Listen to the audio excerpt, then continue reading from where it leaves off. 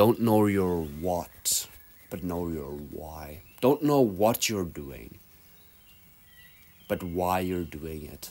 There's a video that I'm gonna play in just a second where a guy is singing Amazing Grace. First, um, he knows what he's doing, and second, he knows why he's doing it. And I will let the video play right now, just so you can see the power of why. So you're a musical director.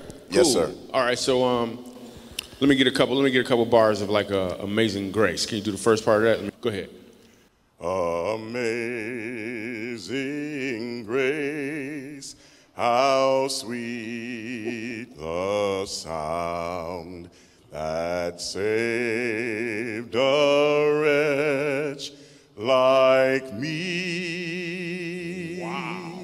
Wow. That bro could sing. You know what I'm saying? All right, all right. Um, now, what you give me the version is if uh, your uncle just got out of jail, you got shot in the back when you was a kid. I'm just saying, let me see the hood version real quick. If you know which version I'm talking about, just see if that exists. Let me see what you got. Amazing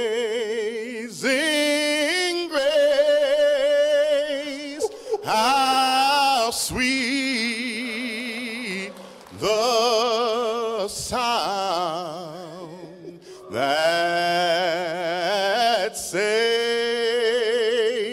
a wretch like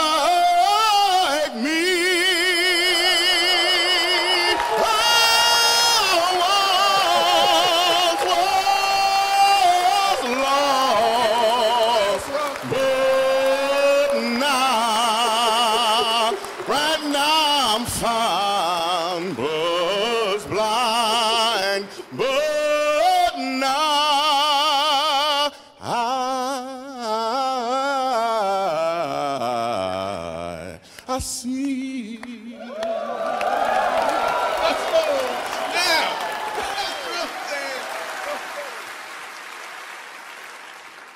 Okay. Um, here's what I want you to catch. The first time I asked him to sing, he knew what he was doing. The second time, he knew why he was doing it. Now that you hopefully seen how powerful this is, I want you to think about why are you doing anything at all? Why are you getting out of bed? Why do you have the burning desire to improve yourself? Because you clicked on a self-improvement video, you want to improve yourself. You want to know your why. And this video will not be a video of, oh, this the seven habits to discover your purpose in 2024. No. I'm not that kind of autistic guy. I will tell you pretty honestly train without headphones, train without music, focus completely on what you're doing in the second. Don't do too many things at once. Live a low dopamine life, and you will discover your purpose at some point. There's a very good course at Coursera that I will link in the description that this video is from. And in that course, you will know everything, you will learn everything about leadership that you could wish for. I'm currently taking that course. I'm in week three currently. And I found it very inspirational to learn why I'm doing things because I thought I knew my purpose and I know it too. But the practices in there, it really helped me verify that what I do think is my purpose really is my purpose. And what my purpose is, is to be rich as fuck. No, I'm just kidding. my purpose is to lead the people out of the slavery that's happening today.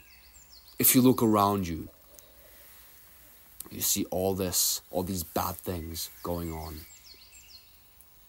And I want to lead you out of there. So live a low dopamine life. You know what to do. You know exactly what to do. Get off that damn phone. Get off that damn computer. And live your life. Go to nature. Pray. Find God. Gratitude journal. Meditate a lot. And you will find your purpose. There is no shortcut. There is no sitting in your room for 15 hours straight. There is no fancy little cute habit. There's only truth. And the truth is that God will reveal your purpose to you if you believe in Him and if you worship Him correctly. True worship comes from gratitude and not from selfishness, not from events that you want to be in the futures, but from events that you have in the past and that you trust God because of. Master your mind.